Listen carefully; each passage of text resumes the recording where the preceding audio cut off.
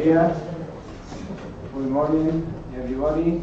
Thank you for coming to the University of Salamanca, to those who come from abroad and from other cities, and welcome also to the uh, Education School of the University to those who come from other parts of this campus, of this university. We are here now to open the International Conference on Technology Ecosystem for Enhancing Multiculturality.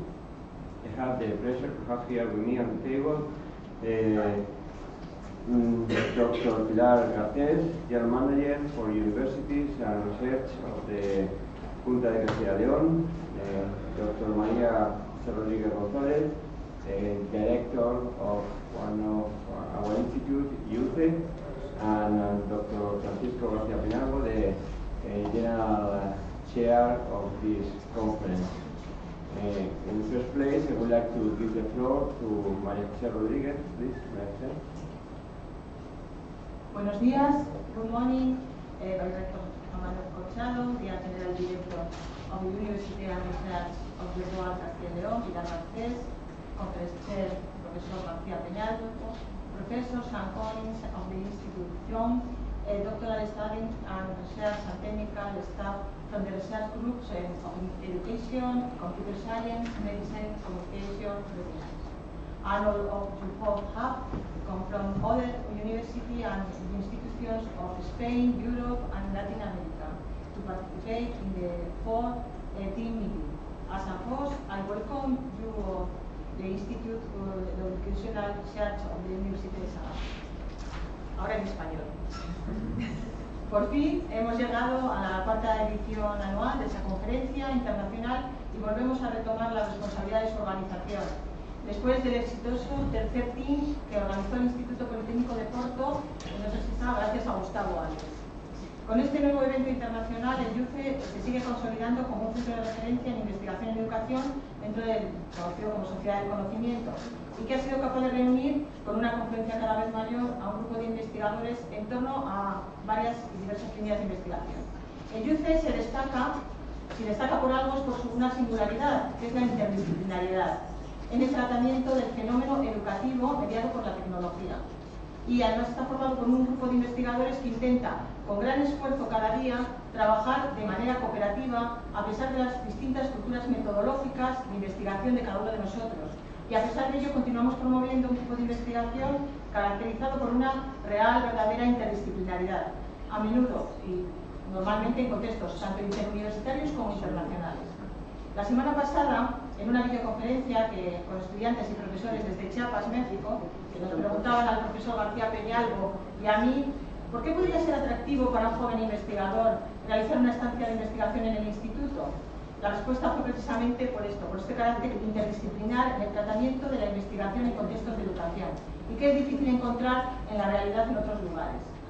Por otro lado, evidencia del trabajo realizado por el Instituto es el aumento en el número de proyectos de producción de resultados presentados en buena parte en esta cuarta conferencia TIM que ya tenéis en vuestra mano, los que se hayan escrito en el procedimiento del Congreso. Nos encontramos, por tanto, ante este reto, una nueva forma de entender la investigación en educación, en una educación permanente, una educación a lo largo de la vida, en un contexto nuevo que es la sociedad del conocimiento. Es una sociedad ahora caracterizada por la multiculturalidad y donde los ecosistemas tecnológicos se integran para facilitar el aprendizaje y para hacerse cada vez más invisibles pero sin los que es imposible progresar en la actualidad. Esta forma de entender la investigación en educación constituye el sentido de este encuentro y el eje dinamizador de este centro de investigación aplicada, el IUCE. La misión de los que trabajamos de forma activa para este instituto es apoyar a nuestra universidad, a nuestra comunidad, país, a Europa, en esta nueva estrategia I más I, en la que nuestro esfuerzo como investigadores se basa en la innovación y en la búsqueda de eficiencia, en la utilización de recursos limitados y a los que debemos sacar el máximo rendimiento en un escenario global, cambiante e interconectado a todos los niveles. Las distintas políticas científicas europeas, el Horizonte 2020, las experiencias de Erasmus Plus, o estrategias de ciencia y tecnología de MINECO, la estrategia de investigación e innovación de la Junta, nacionales, nacionales e internacionales, nos están obligando a ello. To finish off, uh, and as uh, director of this institute, I would like to thank you all uh, your work, and especially this team on young researchers and technicians in computer science, communication, design, education. Who have dedicated themselves, body and soul, to the organization uh, of this event, so that everything would work out as planned. Thank you very much.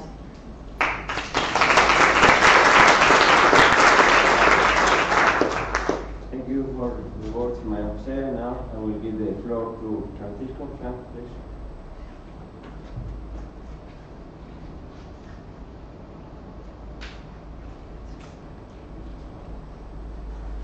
Vice President for Research and Technology Transfer, Universities and Research Head of the Regional Government, Head of the Research Institute for Educational Science, dear friends, good morning for everyone.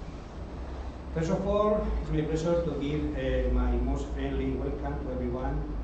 Uh, I hope you will enjoy this uh, fourth edition of this in conference. Uh, the hospitality of our hosting space, the Faculty of Education, with the, the, Ms. Is here with us. Thank you very much for giving the floor to stay here.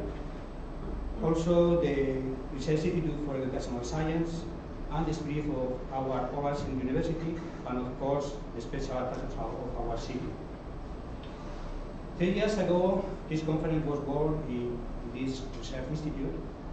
It means a new way to organize an academic conference. By the way, we wanted to maximize the creation of a research community around the knowledge society topic. From, the, from an interdisciplinary, interdisciplinary perspective, but especially with a new PhD program that started also three years ago. Uh, for us, uh, we want to give our PhD students uh, an opportunity to make a networking with other peers and to be in contact with consolidated researchers all around the world. Last year, uh, uh, this conference was held in the CEF of Porto, Instituto Politécnico de Portugal, and it means a significant quality and maturity improvement for, for the conference. We have the first two editions here in Salamanca, and it started a new cycle of one year out in Salamanca and one year in Spain.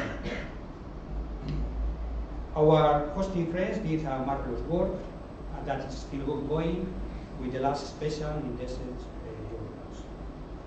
Thus, for my research group, it's a big pleasure hosting TEEM conference again, because it is our little son that returns to home, and we have made our more personal efforts to receive it, and also the family that uh, conforms the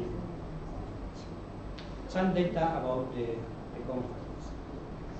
Uh, the international acceptation of this conference has broken all our expectations, and we wait more than uh, 200 people during these three days.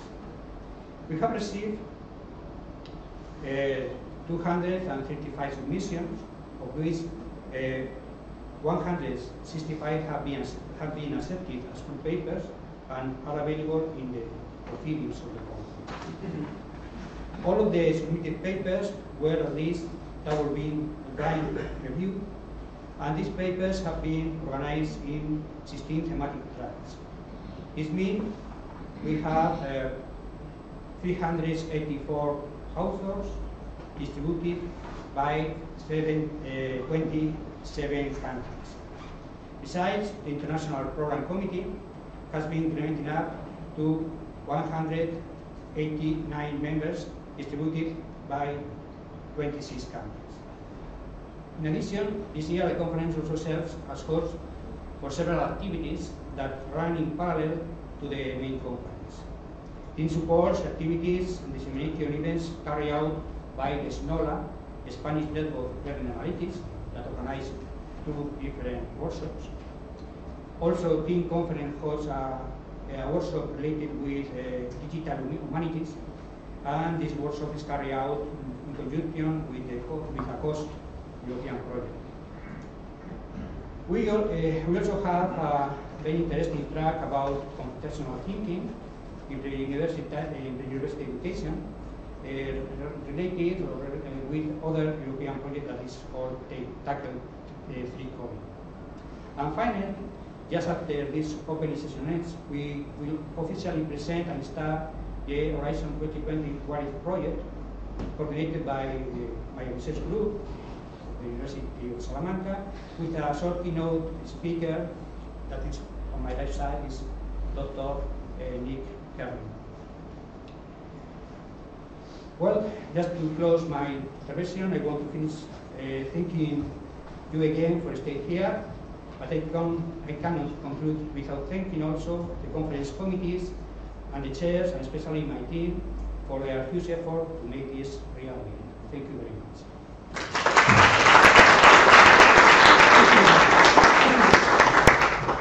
Thank you, Frank, for your words. And it is my great pleasure to share this moment with all of you uh, who are participating in this event. The reason that we are all gathered here this morning. Over the next few hours, experts from the University of Salamanca and from other organizations will uh, uh, share the knowledge what they have been uh, working about in the past few months or years with all of us, and uh, especially on fields like or such as uh, technology, education, and multiculturality. Uh, also, along this morning, I think a project, an H2020 project, coordinated from by by staff of each university, will be presented for us.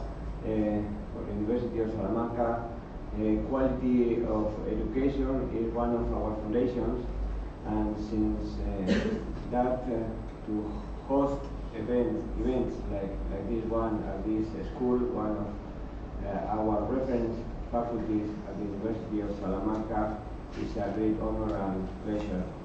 And I would like to thank the Dean of this school, thank you very much Angel for hosting this event, the people who have been working on it, uh, who, uh, they started with this idea from the beginning, like I said, Frank, thank you very much, and also your big uh, research group who are very much involved, not just on this project that you are running here today, but in many others, and especially all of you, which are the most important people always in the conference, the attendees who are going to not just uh, be here to, to learn what the other what others have done, but also to present your your work.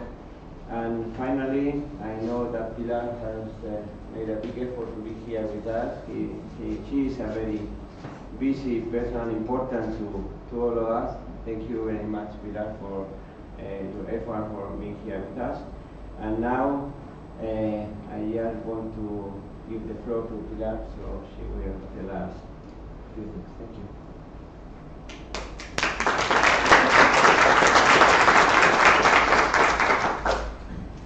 And good morning, everybody. And um, I'm really happy to be here, be um, sharing this table with uh, two directors and one, uh, one vice chancellor. So um, I'm not a busy person. I mean, I'm one of the researchers in the university as well, so I understand the importance of this. And uh, I just want to say that uh, from the Ministry of Education for our regional area, we are going also to be supporting this kind of events. And um, also it is very important for us, and especially for me to meet you, because we are being, or we are going to do a big effort in order to uh, start improving, enhancing the e-learning in our uh, educational system in, in, in, our region, in Castilla y León. We are quite proud to say that the educational system in Castilla y León, especially the, the pre-university one, is quite good. And uh, we actually care for what all the teachers can do in both uh, primary and secondary schools. And one of our objectives is that they have the technological knowledge in order to implement digital learning in their schools. So I think this particular event is very, very important for us.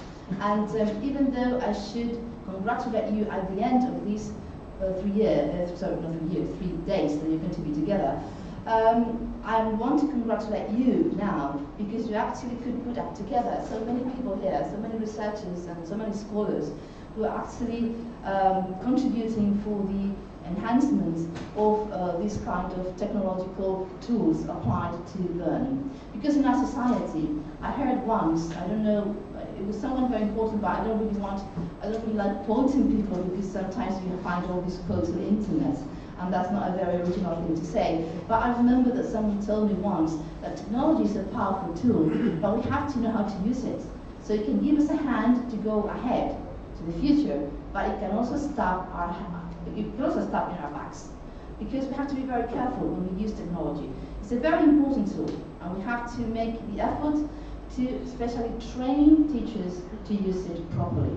And I think I saw in all the tracks we're going to go through during these three days, I would like to go to all of them, I really would like to, because my specialty is humanities, philology, and I can see, for example, that some of you are going to talk about uh, digital humanities, also going to talk about the uh, implementation or the improvement of health and doctoral in, in doctoral cases, in, uh, in medical cases.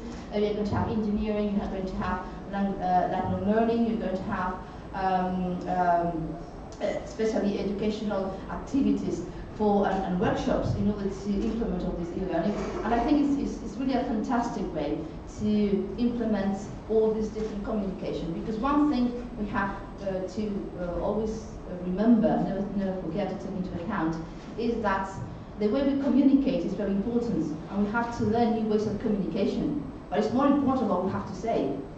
And that is something that we can't forget. That when we say something, we have to actually direct to people, address people, conveying some meaning, conveying something. And only we as human beings with our brains can do that. Technology is just a tool. It will help us, but we have to know how to use it. And I think that is one of the things that they are doing here in this institute, and they are doing here in all the research group, and I really want to congratulate them for uh, all they are going to achieve. And I know that they're going to present us another project they're going to have H2020, so it's going to be very important for us to continue. And the only thing I would like to know or to say here is just to uh, say that I'm very happy to be here, to, to have you here. Uh, thank you also for, to the Faculty of Education for hosting this uh, great event. And uh, I just want to wish you the best of successes. I know that probably they're going to publish this uh, later on, the proceedings and all that. So I'll be very happy and eager to learn and to read all you have done with all the things that you have been learning. This is very important also, all the words that you use in your team. I hope that me being uh, like a linguist, I would like to play with words and say that I hope you will be teaming with enthusiasm to work in teams.